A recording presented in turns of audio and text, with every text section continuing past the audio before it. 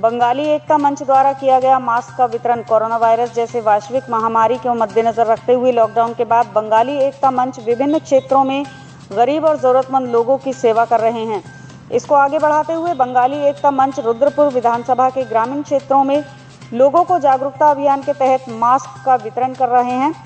इसी को आगे बढ़ाते हुए बंगाली एकता मंच के अध्यक्ष सुब्रत कुमार विश्वास और बंगाली एकता मंच के कार्यकर्ता तन मन धन से आम जनता की सेवा कर रहे हैं और घर घर जाकर बच्चों को, युवाओं को, महिलाओं को, बुज़ुर्गों को सोशल डिस्टेंसिंग और कोरोना वायरस जैसे वैश्विक महामारी से कैसे लड़े,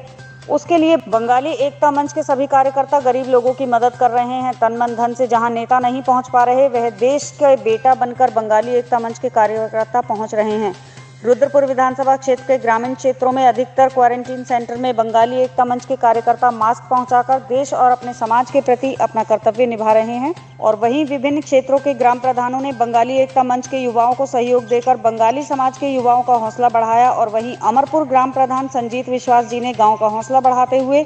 उनके साथ गाँव गाँव जाकर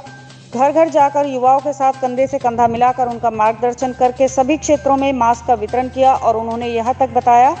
कि अगर घर के अंदर किसी को खांसी जुकाम बुखार जैसी बीमारी होती है तो तुरंत चिकित्सालय जाकर उसका उचित चिकित्सा कराएँ।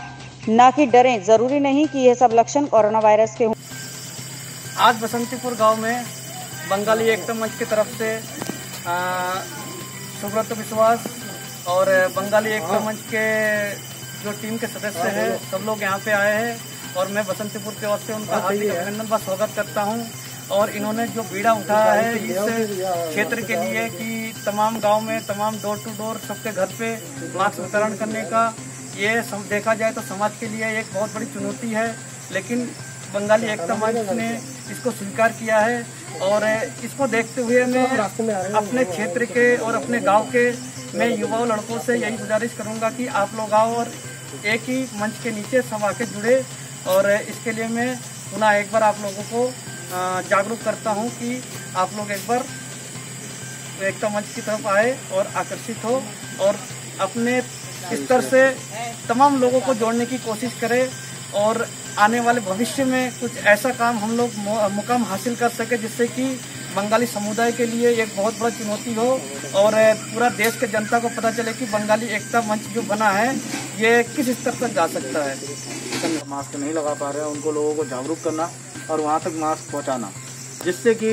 लोगों तक कोरोना वायरस जैसे महामारी से वैश्विक महामारी से लड़ने की शक्ति प्रदान हो लोगों को। और जैसे समाज के अंदर जागरूकता फैल पाए